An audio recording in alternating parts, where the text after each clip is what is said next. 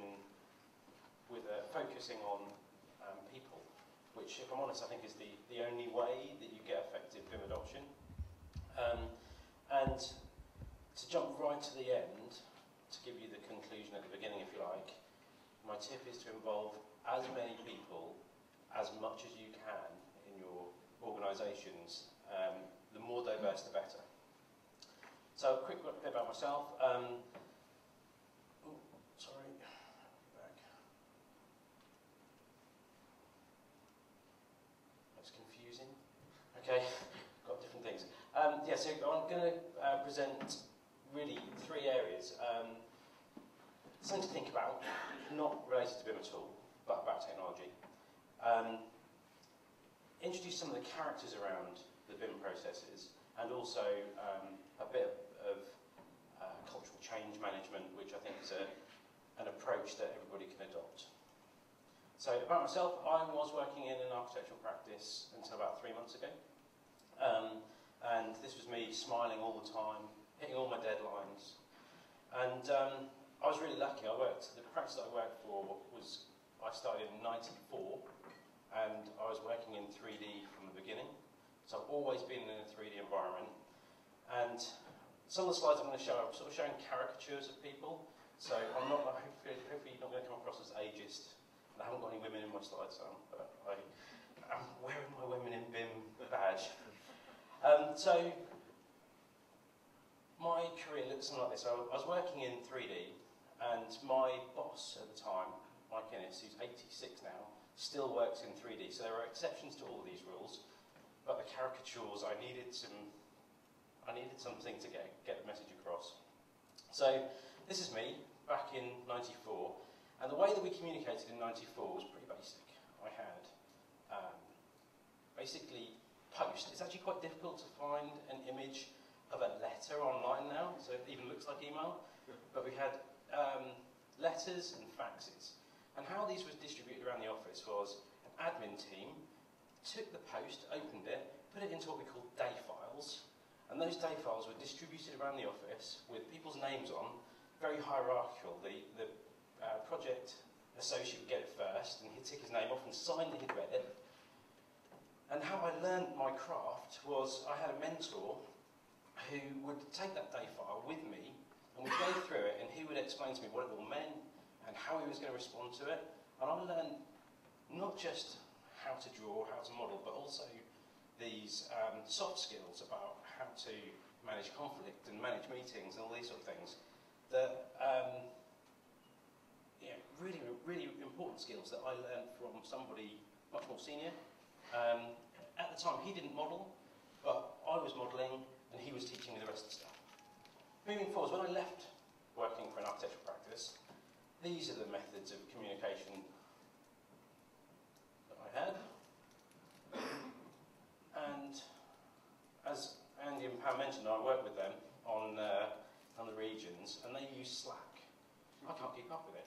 I'm literally, I was getting 300 emails a day, and some of these, um, I'm not going to call them uh, CDEs, but some of these electronic document management systems are really, really intrusive. You get somebody puts a, a message up for you to respond to, and you get a, a countdown timer. It's like speed chess. You have to kind of stop it before you, before your light goes red. And now I'm a massive, you know, I love technology, but I, I'm just really putting this up here to say, are we really communicating in the most effective way? And can we do something different to share information in a more effective way?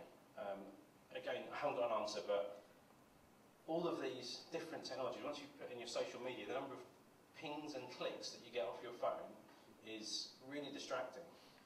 Back in the 90s, when, when I was working, I'd get long periods of undestruct, undestructive works where I could um, really concentrate, concentrate and get the job done. Now, these um, interruptions seem almost constant. I should introduce my first character. I don't know this guy, but we're going to call him Jordan. Um, Jordan's a, a, millennial, so he, um, what, they, what they're predicting about millennials is they will have five different careers. Not five jobs, five careers. Now, me to learn what I know about the construction industry, you're working for around about 50 years. 10 years is not enough time in a career to get to know everything you need to do to know to become an expert. So, and this guy Jordan, he got into what, what we're doing because he liked gaming, and someone said, yeah, actually, if you, if you get into BIM, it's like a computer game. So he hasn't, he's got incredible computer skills, and he can make a model really, really effectively. And what's happening, and what we're seeing, is that um, there's been a bit of a, a split between people that are modelling and the people with all of the knowledge and skill, the historic knowledge and skill. And what I think we should be doing much, much more is uh, working with the broad spectrum of digital natives and di digital immigrants to make sure that these guys have got the soft skills and the technical skills to, to deliver better construction moving forward. Um, I'm not going to show the video, but I'd really encourage everybody to just watch this um, Simon Sinek. Um, it's, a, it's a TED talk. Um, it's available on available on YouTube. It is if you've got anything to do with um, education, or if you've got kids yourself, it's a really um, thought-provoking little video. okay, you've already seen um, the diffusion of innovation curve um, in Andy's slides. But um, so the idea of diffusion of innovation is that um, a small percentage of us are innovators. Then we get 13.5% of early adopters, early majority, late majority, and laggards. And we all sit on different places on this curve at different times. So I, I'm terrible on social media. I am an absolute social media laggard. And so it's not, it isn't about your age. It's just about the way you feel about technology um, a particular technology at a particular time. So some more characters. Here's one of our innovators. What I'm suggesting is that we should be um, identifying the characters that we've, that we've got and giving them the tools that are going to keep them interested.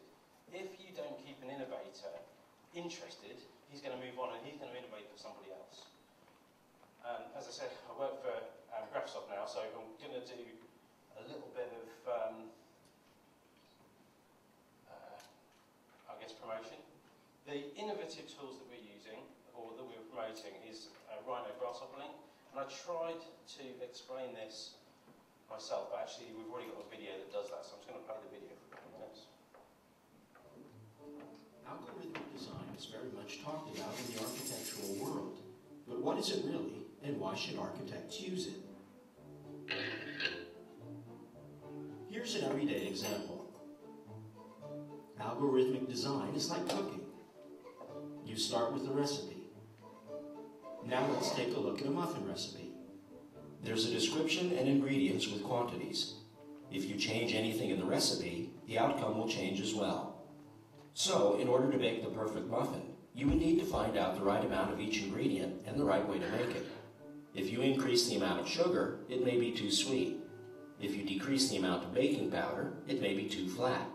Algorithmic design for buildings works exactly the same way. In order to get to the best design, you need to experiment with the parameters. Traditionally, you would do this process in your head. With algorithmic design, in order to get to the best design solution, you simply create the process or recipe and not the final outcome. Let's see how this works in practice. In actual building design, you would normally need several versions of the design to decide which solution would be the best.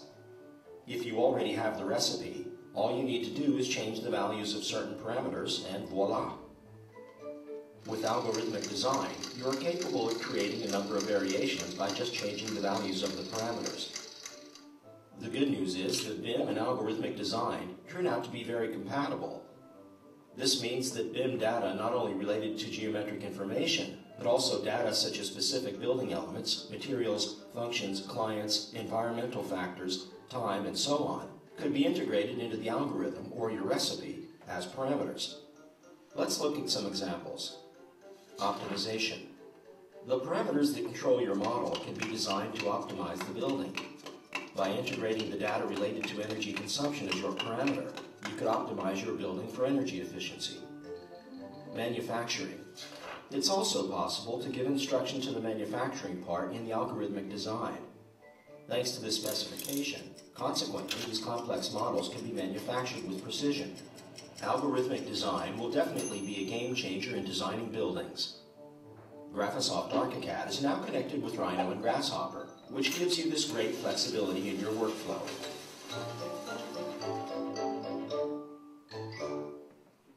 So the first time that I saw algorithmic and computational design, as it's known, I honestly didn't get it, and it was it seemed to be um, something that, as an architect, we were we were never going to use.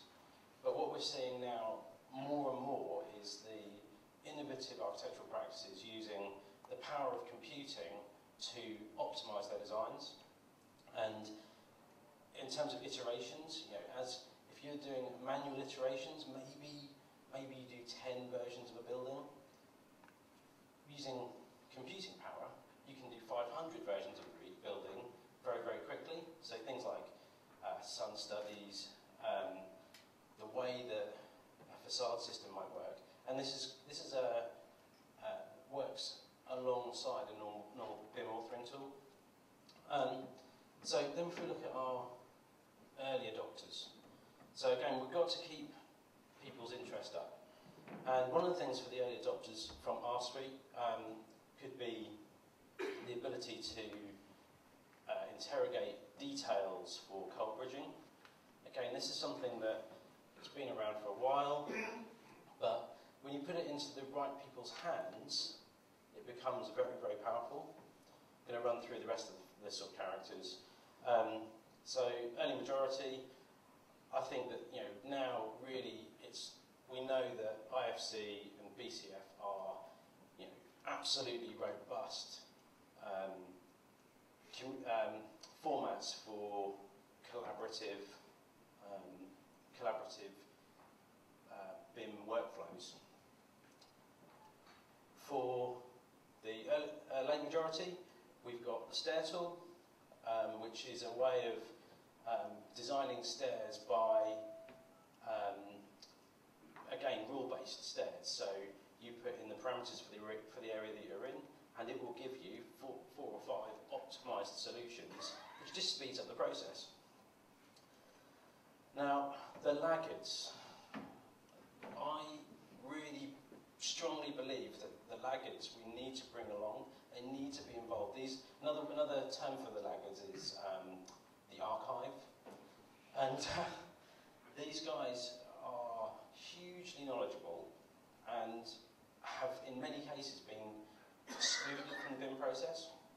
So, again, using our tools, the um, BIMX allows people to with very little skill um, interact with the 3D model. And so it's a, it's a model which is available on mobile devices, clients, um, and senior, you know, the laggards, if you like, can absolutely get in here, get real understanding of the building, communicate back to the, the design teams really, really efficiently. Okay, lastly, um, in terms of change management, this is something that I use with customers to understand when people have kind of got stuck. And if you um, look at this list of uh, how, you, how do you feel about BIM, and generally, BIM managers point to frustration. How do you feel about it? They say they're frustrated. If you talk to a director, they'll say they're confused. And it turns out that there is um, essentially seven bits of, bits of information that's needed in order for change to happen. And if you are missing any one of those, then you get different uh, undesirable outcomes. Um, so, you know, the, the classic one is a BIM manager feeling frustrated, and that's because he hasn't got any resource. Now, the reason he hasn't got any resource is probably that he hasn't expressed what the vision is to the person who can give him some resource. So all of these things are um, absolutely linked, but once you need all of these things to be in place in order to make an effective change. I would argue that you need to involve everybody. Everybody needs to be able to see a case for change. There's no point if you've just got um, a small part of your organisation that totally get it. They will struggle to drive change in the business. If, they, if they're not in a position to get resource, they won't be able to drive a change. And then I've just kind of picked some areas, but you know, every including the early adopters, the innovators, they all need to be play their role in order to achieve a, a lasting change. So, lastly, we know that BIM is a disruptive technology. It isn't business as usual for very many people yet, but fundamentally, nobody can do it on their own. But if you follow those, get all of those bits of the jigsaw in place, um, you hopefully turn some people from looking like this.